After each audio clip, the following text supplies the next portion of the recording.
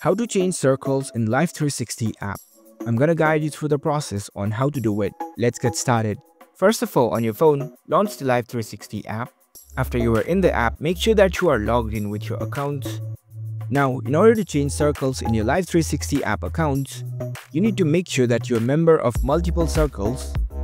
If you're associated with multiple circles in your account, then you can change circles from one to another so in order to change circles in this home screen, at the top you can see the circle's name. Tap on this drop down list. Over here you'll see the list of circles that you have joined in your account. Right now I'm in the family circle. If I want to change it to the friend circle, I'll just tap on this friend circle over here. And there you go. That's how you can easily change circles in your Life360 account. If you found this video helpful, don't forget to give this video a thumbs up and subscribe to our channel for more tech tips. Thank you for watching.